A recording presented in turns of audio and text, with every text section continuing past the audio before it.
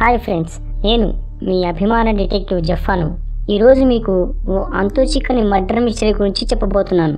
కనిపించకుండా పోయిన కూతురు కోసం వెతుకుతున్న తల్లిదండ్రులకు తమ కూతురు బెడ్రూమ్లోని బెడ్ కింద శివమై కనిపిస్తే ఎలా ఉంటుంది? ఓసారి ఊహించుకోండి. దారుణంగా ఉంటుంది కదూ? సరే స్టోరీలోకి వెళదాం.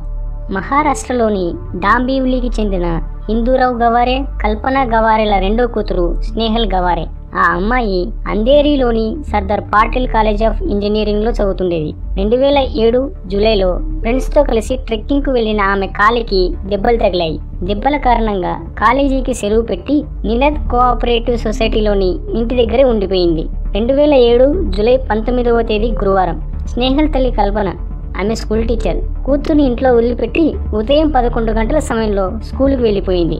ఆ సమయంలో తండ్రి హిందూరావు కూడా ఇంట్లో లేడు. స్నేహల ఒక్కతే ఉంది.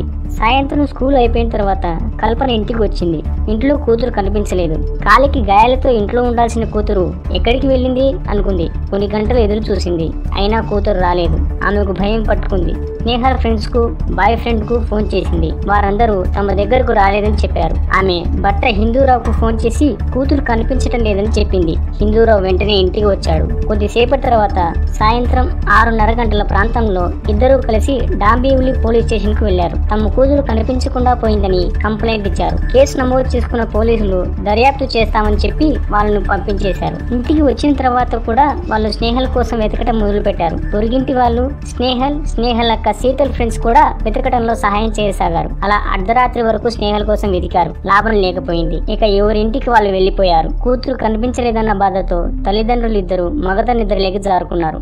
శుక్రవారం ఉదయం నిద్ర లేచిన తర్వాత బెడ్ సర్దుతోంది కల్పన.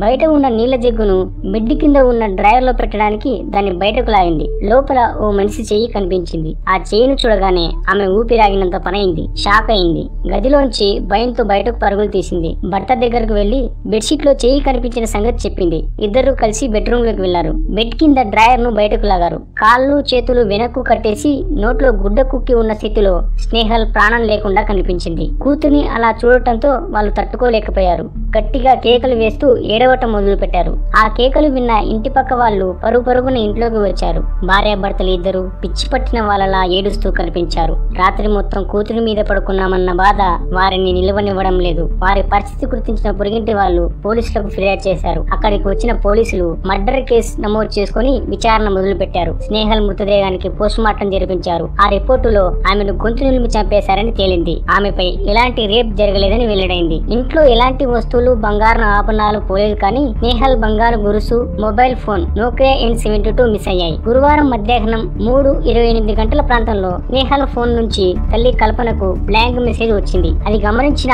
ఆమె కూతురికి ఫోన్ చేయడానికి ప్రయత్నించింది. కానీ నేహల్ ఫోన్ అందుబాటులో లేదు. కేసులో ఆ మొబైల్ ఫోన్ కీలకంగా మారింది. పోలీసులు దాని కోసం అన్వేషణ మొదలు పెట్టారు ఆ ఫోన్ను ఓ వ్యక్తి మొబైల్ షాప్లో సెకండ్ హ్యాండ్కు అమ్మేసినట్లు గుర్తించారు. షాప్ ఓనర్ను విచారించారు. అతను చెప్పిన పోలికలతో ఫోన్ అమ్మిన వ్యక్తి డ్రాయింగ్ను గీయించారు డ్రాయింగ్లో ఉన్న వ్యక్తి కోసం వెతకడం మొదలు పెట్టారు స్నేహల్ మృతి చెందిన అదే అపార్ట్మెంట్లో ఉంటున్న ఆమె కాలేజీ మేట్స్ కేతన్ జవాలే మకరన్ చౌదరిలను కూడా పోలీసులు విచారించారు. కాలేజ్లో ఆమె చాలా పాపులర్ స్టూడెంట్ అని చాలా మంది ఫ్రెండ్స్ ఆమె కోసం వస్తూ పోతూ ఉంటారని చెప్పారు. హైరన్ అనే యువకుడు ఆమె ఆరోగ్య పరిస్థితి గురించి తెలుసుకోవడానికి తమకు తరచుగా ఫోన్ చేసేవాడని చెప్పారు. పోలీసులు పొరుగుల వాళ్ళను కూడా విచారించారు. హత్య జరిగిన రోజు ఎవరైనా అనుమానాస్పదంగా ఆ అపార్ట్మెంట్లోకి వెళ్ళటం గమనించారా అని అడిగారు. వాళ్ళు అలా ఎవరిని చూడలేదని చెప్పారు. స్నేహల్ తల్లిదండ్రులు boy ఫ్రెండ్కు general psychology test polygraph brain analysis టెస్టులు నిర్వహించారు పోలీసులు. ఎలక్ట్రీషియన్ కేబుల్ ఆపరేటర్ ఇంటి పనివాడు ఇలా అందరినీ విచారించారు. ఆ సమయంలో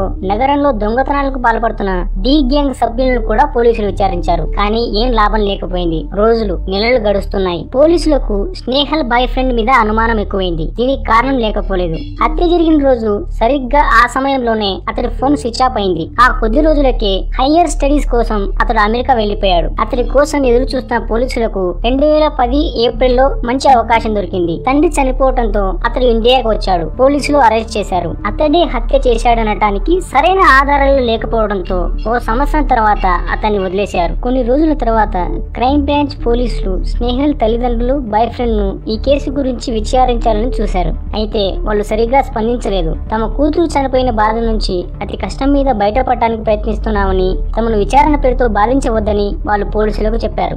ఫ్రెండ్స్ ఈ హత్య జరిగి దాదాపు పద్నాలుగు ఏళ్ళకు పైనే అవుతుంది. ఇంతవరకు ఈ హత్య ఎవరు చేశారో పోలీసులు కనిపెట్టలేకపోయారు. డ్రాయింగ్లో ఉన్న వ్యక్తి ఎవరో కూడా గుర్తించలేకపోయారు. ఈ హత్య చేసింది ఆమె బాయ్ ఫ్రెండా తల్లిదండ్రులా లేక వేరే ఎవరైనా దొంగతనానికి వచ్చి పనిచేశారా? పని చేశారా ఇంతకీ ఆ డ్రాయింగ్లో ఉన్నది ఎవరు?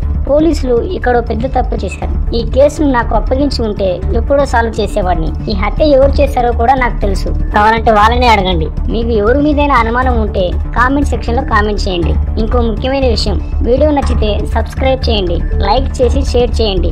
Take care. Bye bye.